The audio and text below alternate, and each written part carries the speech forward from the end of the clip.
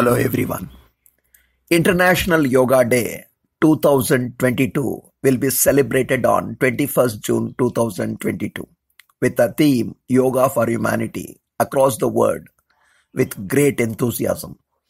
As the pandemic COVID-19 continued this year also, yoga is helping people to stay energetic and have strong immune system. The theme was selected with the aim to activate and inspire the yoga community for sustainability and global development. International Day of Yoga is celebrated worldwide on 21st June since 2015 following declaration of 21st June as an International Yoga Day by United Nations General Assembly in December 2014. The idea of International Day of Yoga was first proposed by Indian Prime Minister Sri Narendra Modi during his speech at United Nations General Assembly on 27 September 2014. In India, the city of Mysore in Karnataka is all set to host the main event on 21st June 2022.